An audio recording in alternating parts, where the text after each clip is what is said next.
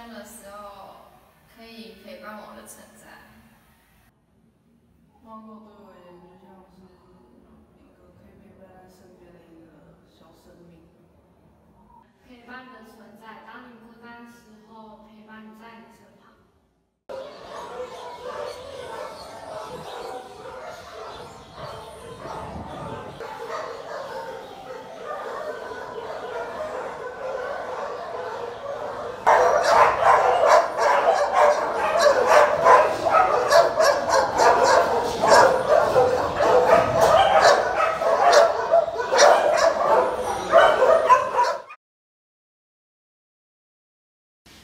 目前为止啊，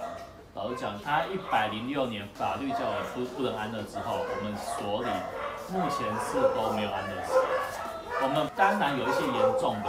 我们严重到说他可能就是已经末期了，已经可能是没有办法了，或者是已经瘫痪了，你没有他的愈后效果真的非常非常差，会把他判定说这个应该安乐了，因为他对愈后真的很不好。不过目前为止的话，因为我们都会先公告出来，目前先公告出来的话，民众都会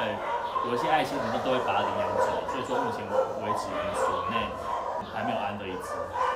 应该是说除了我们已经很感谢民众的帮忙。有攻击性的狗的话，如果是它因为咬人被抓进来的啦，那它我们会去询问是说真的有攻击性，还是它对于有些人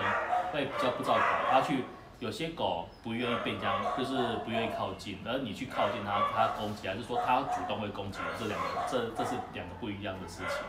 你如果是因为你去靠近狗而对它做一些不好的事情而被攻击了，我只能讲说这个就是真的就是呃人自己的问题。如果是狗狗去攻击人的，这应该是比较少发生。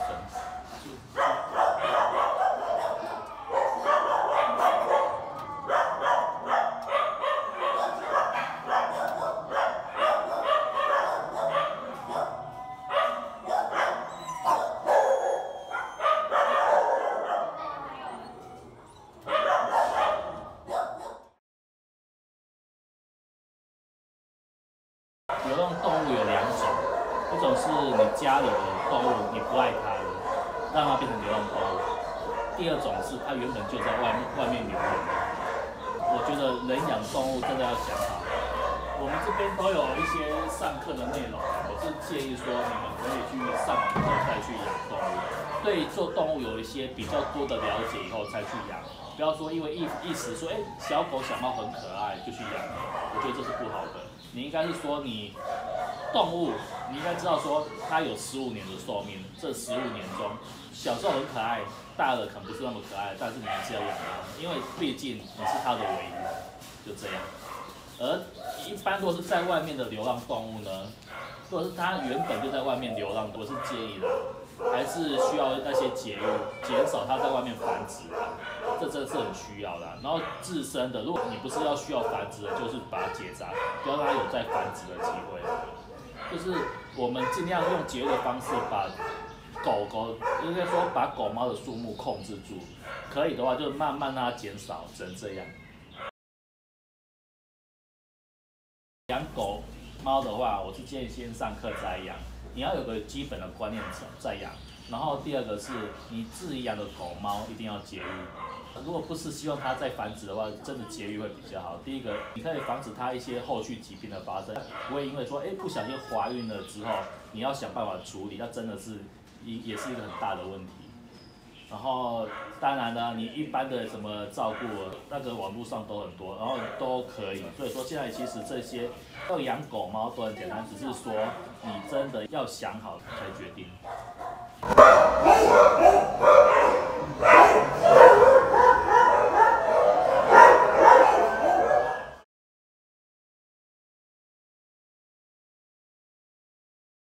领养，因为可以让他们再次拥有一份温暖。我会选择用领养，因为我觉得繁殖场不是很人道的一个行为。领养，因为会少更多的流浪。